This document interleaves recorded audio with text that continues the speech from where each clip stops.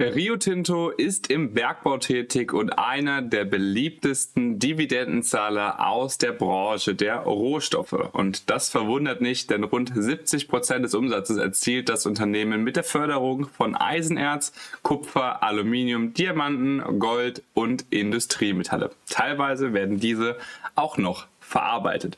Und damit hi, schön, dass du wieder mit dabei bist. Heute, wir haben Rio Tinto mit im Boot. Ja, wir hatten schon erwähnt, ein echt spannender Dividendenzahler. Es gibt auch eine sehr üppige Dividendenrendite und wir schauen uns heute mal das Unternehmen an. Auch hier wieder, ist die Aktie ein Kauf oder kein Kauf? Wie hat sie sich bei uns im Depot entwickelt? Und wenn du weitere Videos nicht verpassen willst, ja, dann sei so gut, abonniere den Kanal, wenn du es immer noch nicht gemacht hast. Schau dir gerne die anderen Videos an und wenn du Mitglied bei uns werden willst, werden wir dich sehr herzlich begrüßen. Also Rio Tinto, eine Aktie aus Großbritannien. Mitarbeiterzahl bei ungefähr 54.000 ja, Mitarbeitern wenn wir es richtig gesehen haben. Die Marktkapitalisierung beträgt hier ungefähr 100 10 ja, Milliarden Dollar beziehungsweise knapp über 100 Milliarden Euro. Die Dividendenrendite, die wir eingangs erwähnt hatten, liegt hier bei ungefähr 5,8 Prozent.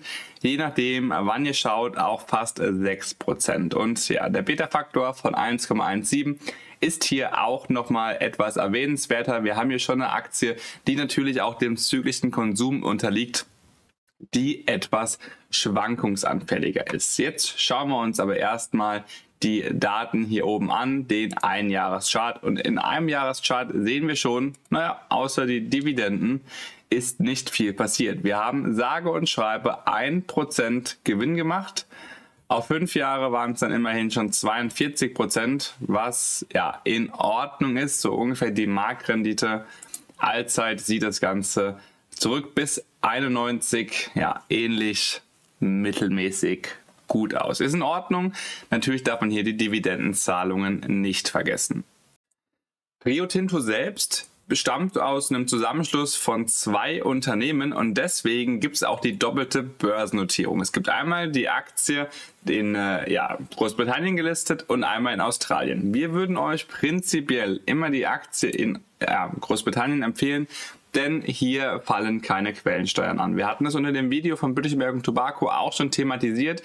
Quellensteuern ist in Klammern zu setzen, wenn du jetzt aber in einem Land sitzt oder ja, in einer Stadt wie Dubai als Beispiel. Da sitzen ja doch der ein oder andere bekannte YouTuber, Finanzinfluencer und Co.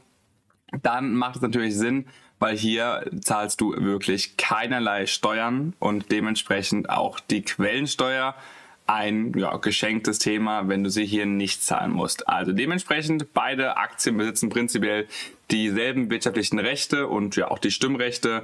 Äh, es gibt für beide auch ADRs, aber uns persönlich ist einfach die Notierung in Großbritannien etwas lieber. Prinzipiell die Dividendenzahlungen, ja, werfen wir vielleicht erstmal so einen Blick auf die ganzen Finanzdaten, bevor wir nämlich dann dazu kommen, wie die Analysten die Aktie einschätzen und die sind doch sehr, sehr positiv gestimmt. Und das Ganze deckt sich eigentlich auch mit unserer Meinung. Ja, wenn wir uns hier oben das KGV anschauen, dann sehen wir, dass das eigentlich ja, in einem relativ moderaten Bereich von 5 bis maximal hier ungefähr 12 pendelt.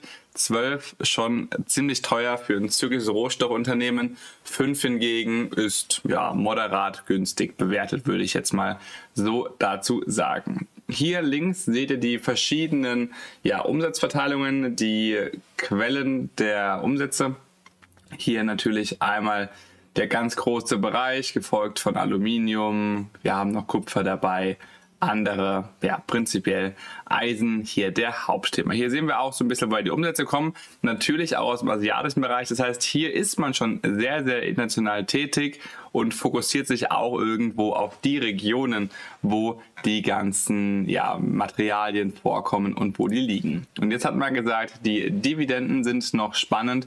Ja, schauen wir uns das Ganze doch hier mal an. Im Jahr 2021 gab es eine Dividendenrendite von 11 8,8 Prozent. Ja, die Dividende wurde leider erst vor kurzem gesenkt. Das ist natürlich auch ein Punkt, wo wir bei der Stabilität von dem Unternehmen, von dem Cashflow hier erstmal negativ ankreiden würden. Dafür liegt jetzt aber aktuell der Payout vom Free Cashflow bei knapp unter 90 Prozent. was wiederum sehr, sehr ordentlich ist. Die Aktie hier schüttet halbjährlich aus. Wir bekommen die Dividenden ja ungefähr hier 2021 waren es noch 7,90 Euro, dann 2022 4,91 und ja, wir erwarten jetzt hier eigentlich zweimal in 2023, beziehungsweise eigentlich haben wir sie schon bekommen, 1,85 und 1,38 britische Pfund. Und hier sehen wir auch schon die Umrechnung 2,25, 1,76. Das heißt, hier sind wir ganz grob auf einem Niveau zwischen 2019 und 2020, was aber trotzdem eine sehr, sehr gute Dividendenrendite absolut ist. Und auch hier sind die Steigerungsraten in den letzten Jahren davor so zwischen 8 bis 11 Prozent sehr, sehr gut gewesen. Ja, die Umsatzverteilung und Co. sehen in Ordnung aus. Natürlich zügiges Geschäft. Hier darf man das Ganze nicht zu eng sehen. Man muss aber trotzdem schauen, Erste Halbjahreshälfte, Bruttogewinn minus 31 Prozent ist nicht schön, vor allen Dingen, wenn 2022, 2021 beziehungsweise erstes und zweites Halbjahr auch schon rückläufig waren. Natürlich erste Halbjahr 2021 mit 154 Prozent. Das heißt, hier unterm Strich bewegt man sich irgendwo wieder in einer Range, die natürlich volatil ist, was uns wieder zu dem Beta-Faktor bringt. Auch Nettoeinkommen, ja, das Unternehmen verdient immer noch gar nicht so wenig Geld, hat natürlich auch viele ähm, ja, Kosten, aber ähnlich wie bei den anderen Aktien sieht das zumindest für die Klasse, in dem Rio Tinto unterwegs ist, nicht so schlecht aus. Kursumsatzverhältnis ist hingegen ziemlich günstig mit unter zwei beziehungsweise ja, knapp über zwei erwartet. Kurs-Cashflow-Verhältnis steigt. Das ist natürlich auch schon mal ja, in Ordnung, wenn man da jetzt noch neu einsteigen will. Und der Unternehmenswert selbst, der wächst beziehungsweise hier im ersten Halbjahr war er natürlich aufgrund der hohen Einnahmen etwas höher, auch ne, die höhere Bewertung. Wir hatten es eigentlich im Chart gesehen. Schauen wir uns gleich nochmal kurz an aber hier erstmal soweit so gut. Die technische Analyse, für die dies interessiert, blenden wir euch einmal kurz ein. Wir springen das ganze Thema, denn wir finden in dem Fall die fundamentalen Analysen der Analysten deutlich spannender. Und hier sind alle Kaufkurs. Ja, was sind die Hintergründe hiervon? Jetzt könnte man natürlich sagen, ja, die aktuellen Zinsen, die wir haben, die führen uns wahrscheinlich in eine Rezession. Manche Länder waren schon in der Rezession. Wie geht das Ganze weiter? Es wurde hier ziemlich viel Negatives eingepreist, denn eine Rezession, wirklich lange anhaltende ja, Wachstumsflauten sind für Rohstoffunternehmen und Co nicht wirklich gut. Aber wenn wir mal ehrlich sind, wir sind momentan mitten in der Energiewende. Das heißt, wir versuchen momentan erneuerbare Energien zu pushen. Wir versuchen entsprechend ökologischer zu bauen. Und für all diese Themen werden die Rohstoffe einfach benötigt. Und das Ganze geht noch weiter. Auch der KI-Trend kann man hier irgendwo mit reinspielen. Denn auch für KI, für Mikrochips und Co., für Roboter, für Flugtaxis, was es nicht alles geben kann, werden Materialien benötigt. Und es gibt hier einfach nicht so viele ja, nennenswerte Unternehmen sind natürlich auch noch BHP, aber Rio Tinto ist hier definitiv weit vorne mit dabei und dementsprechend ist die Bewertung von aktuell 70 Euro pro Aktie, beziehungsweise 70 US-Dollar pro Aktie, das müssen wir gleich mal noch umstellen, ähm, ja, schon relativ günstig. Natürlich kein Selbstläufer, das sind Zykliker eigentlich nie, aber die Zykliker sind auch etwas für die Mutigen, denn ja, wenn die Kurse weiter unten sind, BSF und Co., da kommen wir auch nochmal dazu in den nächsten Videos, kann sich das Ganze einfach langfristig exorbitant lohnen für ein relativ solides Geschäftsmodell. Und jetzt springen wir einmal zum Chart und zeigen euch hier mal noch die Euro-Kurse und zeigen euch hier so mal das ein oder andere, was noch spannend sein könnte. Also der Euro-Kurs von Rio Tinto aktuell ja bei 63 Euro und gerade. Und ja, wirkliche Zonen kann man hier in dem Bereich, wo wir momentan sind, noch erkennen, aber die sind nicht mehr so eindeutig. Das heißt, rein charttechnisch, fundamental würde man sagen, Rio Tinto kann man eine Position definitiv aufbauen. Mindestens 50 Prozent, wenn euch investiert ist von der Positionsgröße, die ihr euch als Ziel gesetzt haben kann, äh, ist jetzt in Ordnung. Ist natürlich wieder ja mit Volatilität verknüpft. Wie gesagt, der Beta-Faktor, ihr habt ihn noch im Hinterkopf. Spätestens hier so bei 52 Euro würde man sagen, haben wir doch einen Punkt gefunden, der erstmal halten sollte. Ja, also unter 55 würden wir erstmal abwarten wieder, wo sich die Aktie hinbewegt.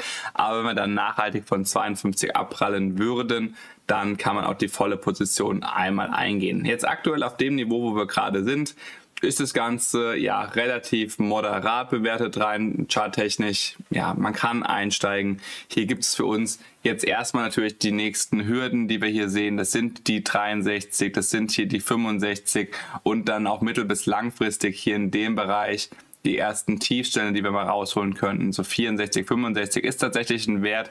Da sollten wir uns mal eine Zeit lang drüber bewegen. Aber macht euch nichts vor. Wenn man sich den Chart hier anschaut, dann sehen wir eigentlich schon, dass wir eine Aktie haben, die öfter mal ja, ein paar Prozent nach oben und ein paar Prozent nach unten abhaut, ist für diesen Wert eigentlich normal. Ja, springen wir mal auf GetQuinn. Wir sehen es schon im rollierenden Monat haben wir 82.000 Euro dazu gepackt. In der letzten Woche waren es allein schon gute 50.000 Euro. Das heißt, auch wir merken so langsam, dass die Jahresendrally schon im vollen Gange ist. Unserer Meinung nach fängt die nicht erst an, sie läuft schon, denn ja, die Kurse, die wir hier haben, sind immer besser, zumindest für die Zeit, in der wir aktuell leben. Und hier ist die Rio Tinto PLC. Wir hatten, ja, wir hatten es erwähnt, die Listung in äh, Großbritannien die Aktie bei uns im Portfolio ist leicht im Plus mit einem Kursgewinn von knapp 8000 Euro. Das ist mal das eine, aber auch erhaltene Dividenden in Höhe von über 6000 Euro. Das ist das andere. Das heißt eine Gesamtrendite von ungefähr 14 Prozent, ungefähr 14.000 Euro. Und ja, Dividendenrendite, wir hatten es hier mit 6% angegeben. Also wir sagen mal um die 6%, da wir ein bisschen günstiger eingestiegen sind, liegt die persönliche Dividendenrendite hier etwas höher. So viel mal zum Bergbau. Wir wollen ja nicht, dass das Video zu lange geht. Das Ganze war doch etwas schneller als vielleicht gewohnt. Aber prinzipiell gibt es hier nicht so viel zu sagen. Ihr müsst euch einfach nur bewusst sein, wollt ihr in Rohstoffwerte investieren?